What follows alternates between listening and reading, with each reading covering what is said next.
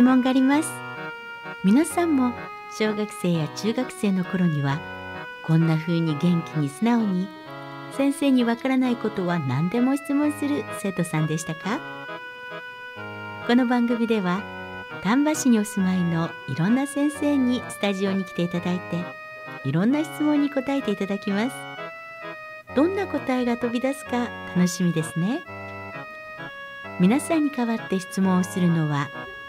パンダのような体型でリベカという名前の私パンダリベカです。それでは早速今日質問に答えていただく先生をご紹介しましょう。今日スタジオに来てくださっているのは佐藤皮膚科クリニック院長の佐藤博文先生です。こんばんは。こんばんは。今日は第3回目漢方って聞くの？の第3回目でございます。3回喋ったのに終わってないってことですか、はい、終わってないんですよ。どうしましょう佐藤先生。まあ今回でぜひ終わらせたいですけど。ぜひね、はい、そうしてほしいです。そしてねご質問が届いてたんですけど5つぐらいご質問が届いてて多分ね1個目しか答えてくださってないんです。あと4つですね。あと4つちょっと、はい、ちゃちゃちゃっと先にまずそれに答えていただいてよろしいですか？はいはい、では参ります。えっとですね、ほくろの治療を皮膚科でレーザー治療してもらおうとしたら切開でないとできないと言われました形成外科ではレーザーで治療できると言われました何が違うのでしょうかという質問をいただきました。はいこれはありがとうございます。はい。とほくろってえっ、ー、と一概に言いますけどまああのほくろって悪いものといいものがあるじゃないですか。良性のものそうです良性と悪性のものですね、うんはい、そうするとねその良性のものだったらあのレーザーでやっても、はい、あの手術で取っちゃっても僕はいいと思うんですよ。はい、なんですけどそれがあのもしかしたら悪いものかもしれないっていう可能性がちょっとでもあるんだったら、はい、それは切り取るっていう形で、そのこう取ったものを、まあ、僕らは標本っていうんですけども、その標本を、えっ、とえっと、組織の,、あの先生がいらっしゃって、それをこううまくこうスライスして、顕微鏡の下でですね、見てくれるっていうのがあるんですよね。それは病理の先生なんですけどもその病理の先生が、あの顕微鏡で見てこれは悪性じゃないですよって言ってくれれば、当然ながら手術を受けていただいた患者様も安心していただけますし、僕らもあの見立てこう最初これは悪性じゃないと思って切るんだけれども、はいえー、その見立てが正解だったということで自分の経験値も上がっていくわけですよね。なるほど。だからそうなんですレーザーでって言ったらレーザーだけだとその組織検査ができないわけですね。そうなんですあそこそういうことやね。じゃあきっと、はい、あの皮膚科の先生が、はい、その切開っていうのはそれも含めてのことなんですね。で僕は、うん、あの実はそのちょうど中間ぐらいをやってまして、えーはい、その組織を取ります。なんだけど、残ったりとかあと、あのちょっと表面周りがあまり綺麗に切れてないとかっていう、まあ当然人間のやることですんで、神様みたいに綺麗にできないんだけど、それをまあレーザーで、あのそれを整えるってこともできますしレーザーを使うことによって出血してるこう血管を凝縮、凝凝固することによって止血することができるんですね。そうするとあの当然ながら血液がいっぱい出ているところで手術をしてると、当然ながらまあ見えてない表面を縫うことになるんで、より一層あの綺麗にはできないんですけども、完全に止血されたところの、その組織の面を見た時に、この面とこの面をきれいに合わせれば、あの元の皮膚により一層近くなる。例えばですね、はい、唇のこの上のこの三角形のラインありますよね、はい、ここの上にもほくろってできるんですよ実は、はい、そうするとね、うん、そのほくろができたところをこう取り除いた後に、うん、この唇の上のラインの普通の正常の皮膚の色と唇の色のところのラインっていうのは合わせないと一生段差ができた状態になってしまうんです。ということは、うん、その縫わないで例えばレーザーで取ってしまうと、はい、そのラインがうまく合わさなかったりとかそこのところに穴が開いてしまって、同じような組織がちゃんと寄ってきてくれるかどうかっていうのがちょっとわからない状況なんですね。なのであの唇のラインはきっちりと取って止血をして、はい、きれいに縫い合わせるっていうことが必要になるんですね。なのであの皮膚科と形成外科の違いは、はい、僕はあんまりそれは感じたことがなくて実は僕あの大阪の形成外科葛西先生というところの先生のところにレーザーも学びに行ったりとか、あと形成の先生に手術のやり方を教えていただいたりとか、あと痙攣のするような、その皮膚の欠損部分を、皮膚をあの移行させて、そのなんていうんですか引き連れがないようにするようなそういう手術も実はやってます。なるほど、はい、じゃあやっぱりこう先生とねゆっくり話す時間はないのかもしれないんですけどその希望を述べるといいんですね。きっとねそのこの質問者の方はレーザーだと、なんかこう綺麗に治るとか。と思ってあると思うんですよ。そう思う。だから切開ってされるって言ったらなんかもうただただ外科的な手術をされるだけって思い込んであるんちゃうかな。ことによって傷がついちゃう、うん、そう思ってあると思う。そっかそっか、うん、そのレーザーも、あの傷はできますよね。うん。ね、だからきっとみんなわからないままの思い込みをね。だからそこをなんかこうよく分からはってまあきっと傷跡なく美しくっていうのが多分女性の方とかだったらね。いやもうそれだったら、うん、あの僕は、うん、あの手術をする前に必ず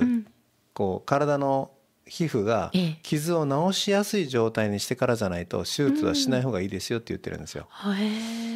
それこそ僕が20年ぐらい前だったら、ほくろはもう即その,、その場で切ったりとかしてたんですけども、やっぱりケロイド体質の方とか、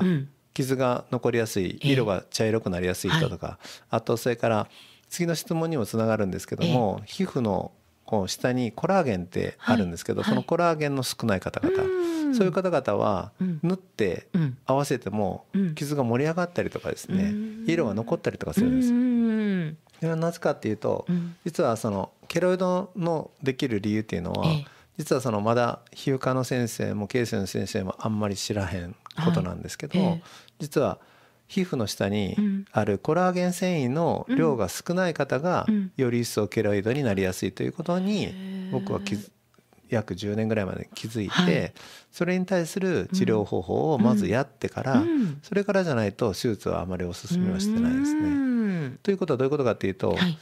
あのケロイドのある人はどの方法でやってもケロイドになる可能性が何パーセントかはあるってことなんですよね。そのか可能性をできるだけ少なくしてあげる状態で手術をしたらそれこそ綺麗にメスで切って合わせて縫うっていうパターンもありますしレーザーでやるっていう両方のパターン両方どちらやられても綺麗にできると思います。そこはあのいいんじゃないかなと思います。でもっと言うとレーザーでできない手術を切ることによってできることもできますよね。例えば小指の爪ぐらいのほくろがあったとして、はい、それをレーザーで消すって無理なんですよ。大きさ的に無理っていうことですか？はい。なのである程度のボリュームをこうメスで切って取ってしまうしかできないですし、その後綺麗に縫い合わせるんだったら。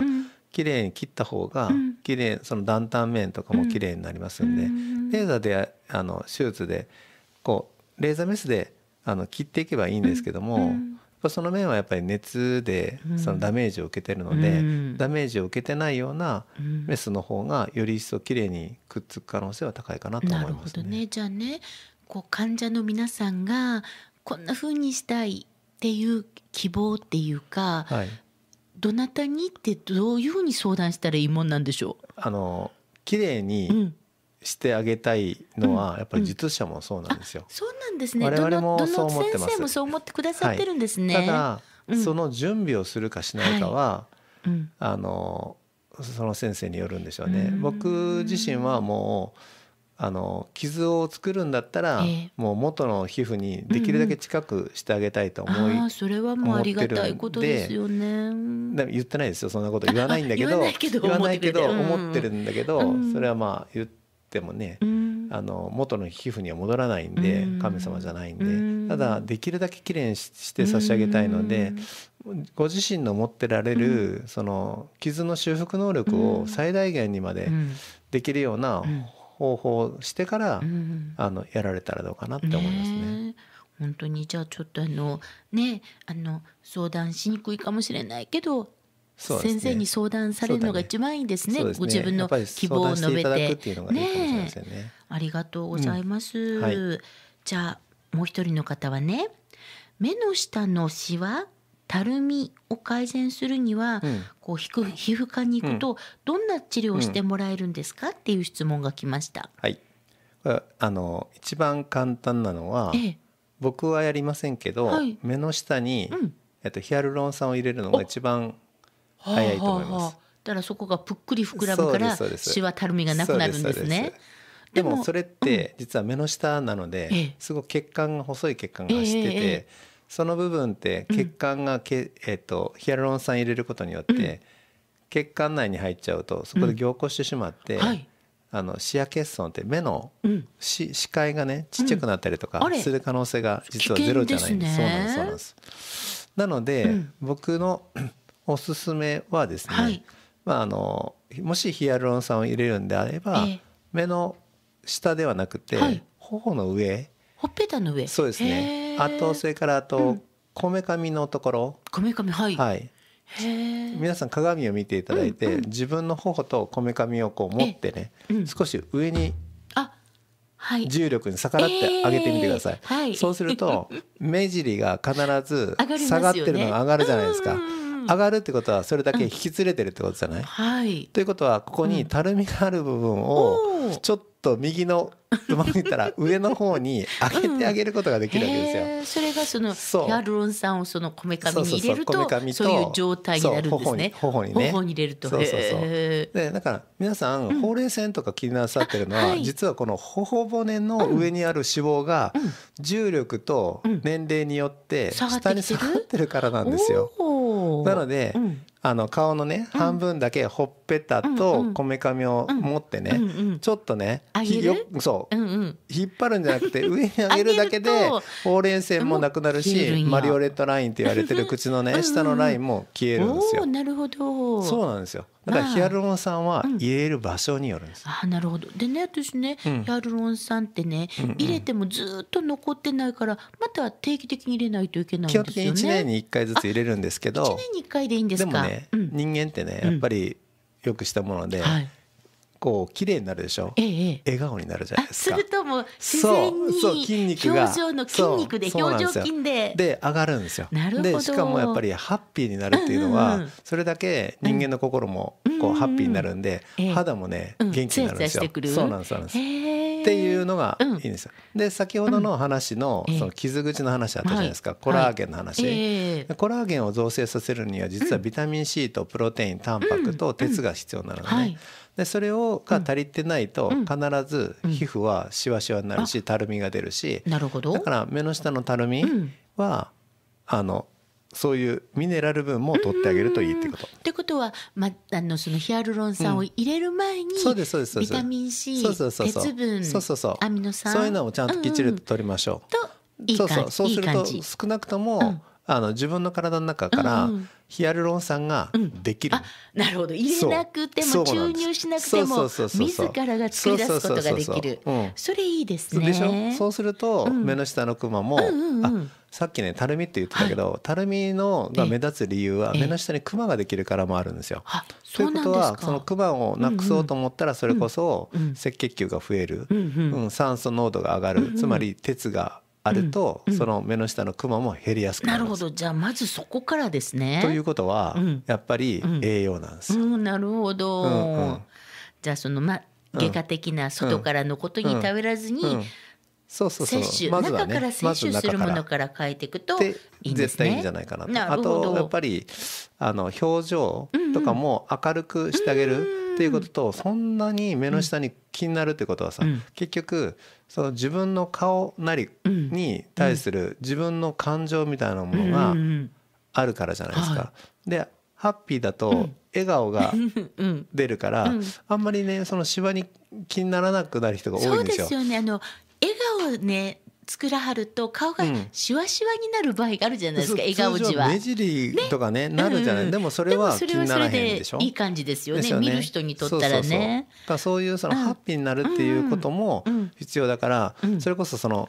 あの僕がいつもやって言ってる心と体ってつながってるから、それをやるのに、さっきの話のミネラルの話もそうだけど、それこそ今日お話ししようと思ってた漢方なんかもでもなかなかそういういい効果の高い漢方もあるわけですねそういうのに。まあ、うん、でもまああと質問2ついいですか？はい、はい、いきますよどんどん。あのねまぶたが垂れてきたのを治すのは皮膚科に行けばいいのでしょうか？どんな治療法があるのでしょうか？保険適用でしていただけるのでしょうか？やっぱりこうみんな目元は気になるんですね。もう目はねやっぱりね、うん、表情として必要なところなんでやっぱり皆さん気になされますよね。それこそあのマスクしてても目は出てますもんね。そうですそうですあの、うん、眼瞼下垂っていう言葉があるんですけど、はい、眼瞼下垂っていうのは、え眼瞼が下に垂れるって書きます、はい、目のまぶたって書いて眼瞼ですよね。眼瞼ですよね。下垂は下に垂れるって書きますよね。でその下に垂れることによって、ええ、そのまぶたの下には目ん玉があるじゃないですか、うんはいはい、目ん玉の視野を、うん、あそうだ。損なってしまうようなことがあるようであれば、はい、それは保険適用になる、うん、なるほどなるほど、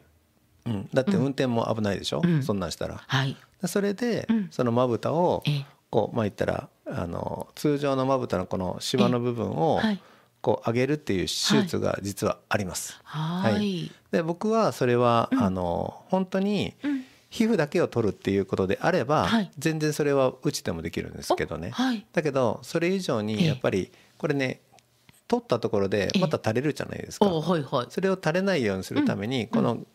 眼瞼の目の上に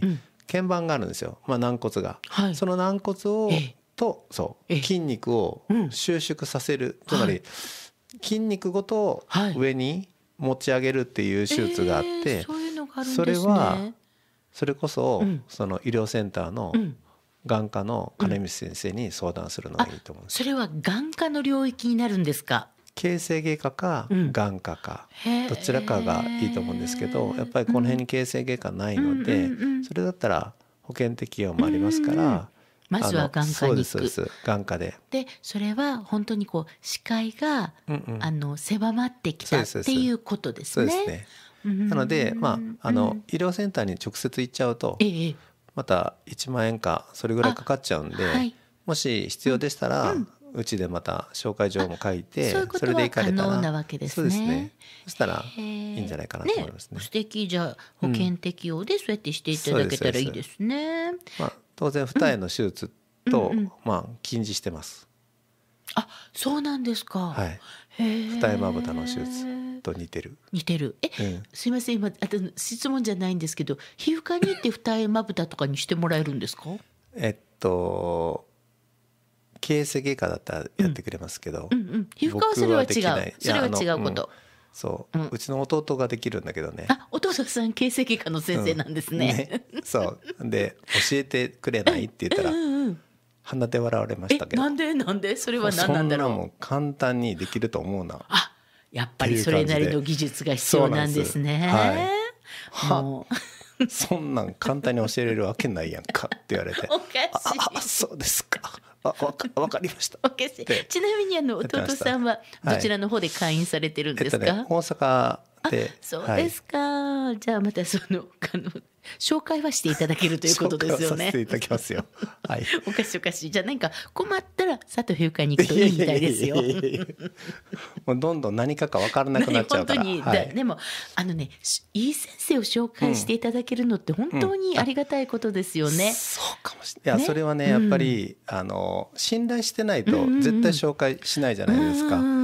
ねやっぱりでもその、この業界にいるから、えー、ああの先生はいいわっていうのは分かるわけですよ。からね、そうそうそうそう。それはそうかもしれない。ありがたい。だからね、うん、よくこうかかりつけ医を持ちなさいって言わはるけども、まあいい先生でもやっぱ全部できないことってあるじゃないですか、うんうん、でもその信頼しているかかりつけ医の先生が、よく知っている良い先生を紹介してくれはったら、そんないいことはないですよね。そうだと思うんですよ。うん、やっぱりねあの日頃、医療と、はい、あのお世話にならへんのが健康ってことじゃないですか。えーはいずっとずっと自分がね、うん、いっぱい病持ってて、うん、この先生がいいわって調べる人なんていないですよね。健康だから病気になった時に困るんですよね。困った時に、えじゃあ今から調べてっていうことができるんやったらいいけど、うん、その人のお人柄であるとか技術とかっていうのは分かんないからね。分かんないですよね、うん、本当に。でもそれを知ってる専門の先生に紹介してもらえたらそれめちゃくちゃ安心ですよね。あの先生優しいからね。ね。ねで僕いつもねその葛西形成外科のね先生僕が教わった先生、はい、顔は怖いんだけどね やわら優しい先生なんだよって言い方もねきついんだけどね大丈夫って言ってよく送ってた。安心よね。だって全然知らなくていいったら、その応対だけで対応だけであもういややっぱりこの人嫌ってなることありますもんね。でしかもね、その形成外科の先生のところはね、めっちゃいいホテルの2階にあるんですよ。はいはいそんなホテルにある形跡外科やったら高ってなるんじゃないかっていうのがあるじゃないですか。それもありますよね。そういうそのね、玄関を入るっていうことの勇気もないとダメだから、まああの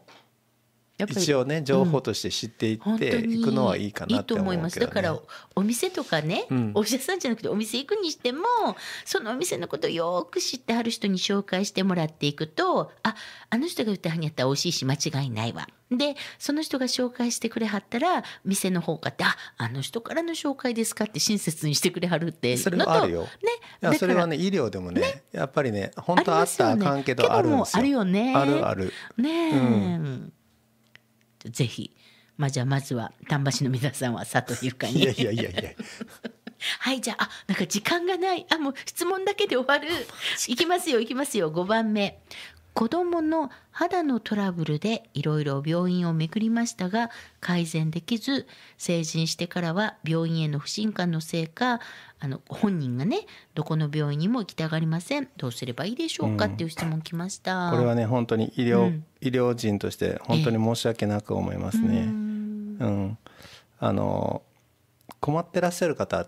なのでね、やっぱりあの何とかして直して差し上げたいなって思う気持ちは、重々あるんですけど、はい、やっぱりいろんな言葉のこうまあ言ったらボタンの掛け違いとか、い、ろいろあると思うんですよね。はい。うん、であのえー、っと特にその成人になってしまって病院への不信感があるとですよね。不信感があるとね治らないですよ。それもあるんですね、はい、もうだから今まで治らへんかったから、もうどこ行っても一緒はもう行きたくないってもう思ってはるわけですね、ええその人は。さっきさっきね、うん、あのリベカさんが言っちゃ言わはったその、信頼があるとっていう話は逆に、あの患者さん側でもあるんですよ。はい、であっこ紹介してくれたから、うん、紹介してくれた人の言ってやことやから、うん、あこういったらよくなるわっていう気持ちでいくのと、はいいや誰分からへんし、うん、もうあんなところ行ってもよくならへんわっていう噂を聞いた状態で行くのとね、うん、全然治療効果が違うんですよ。すね、それは一番僕のあの第1回目の時にお話ししたプラセボ効果っていうのを記憶されてます、はい、あちょっとだいぶと忘れてきていますが。それがあって、はい、その実はプラセボ効果約30%もあるんですね。ということは3割治ってるか3割悪くなるか、そこを決めるのが、その受診をする時の気持ちなんですよ。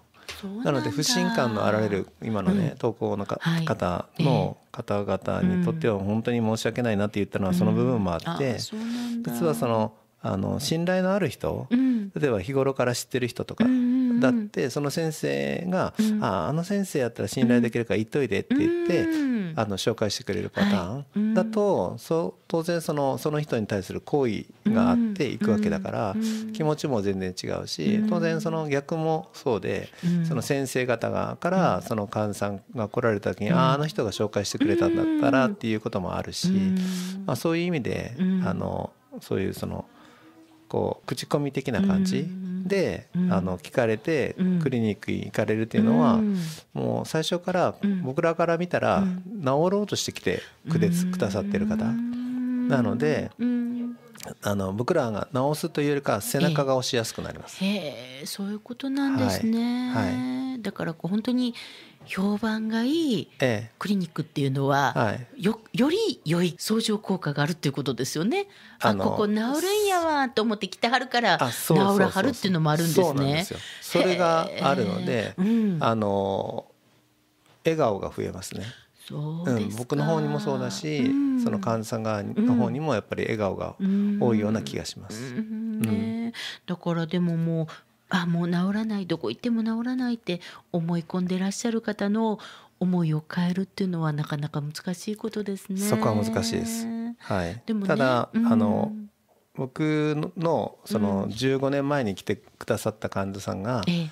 あのなかなか治らなかった方々がいらっしゃったとして、はい、で今僕がその、15年前の僕にアドバイスしたいことは山ほどあります。うんはい、あそうですか、うん、それぐらい今とその時のその技術であったりとか、あとそれから治療方法であったりとか、もう当然ながらその社会全体も進歩してますんで、そうですね。新しい本当に日進月歩ですごく進んでいくんですよね。じゃあもしかして当時治らなかった方ももうなんかもう一回だけもう一回だけ行ってみたら、ええ、もしかしたらそうなんですねあの完璧には治らなくてもちょっとねああの時よりはいいよっていうような思いは